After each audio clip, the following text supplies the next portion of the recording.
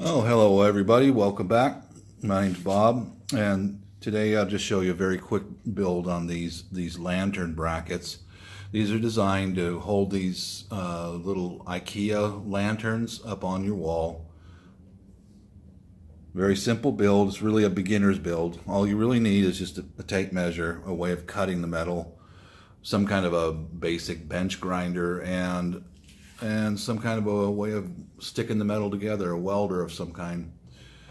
So um, stick around. I'll show you a quick bit, quick part of the build, and this will be a very fast video. I'll be right back. Okay, there's one wall sconce I've had up here for a long time. And there's one of the guide lanterns. This should be just enough to give some light on so that when the power goes out during the winter storms and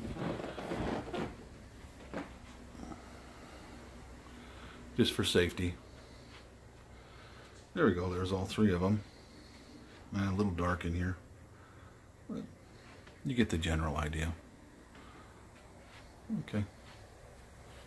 One, two, and three. We'll be back in just a minute um, after the sun sets and I'll light the tea lights. So see you soon.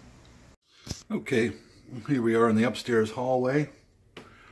And I'll turn off the lights and show you the results of this. It's a very simple build. There we go. There's right here. This is just in case the power goes out. Makes it safer for all of us to be able to navigate down the stairs.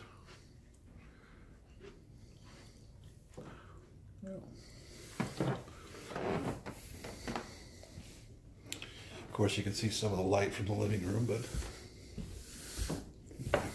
let's take a look from here. That's nice. I think it turned out great. It's a very simple beginner's welding project. So thanks for watching.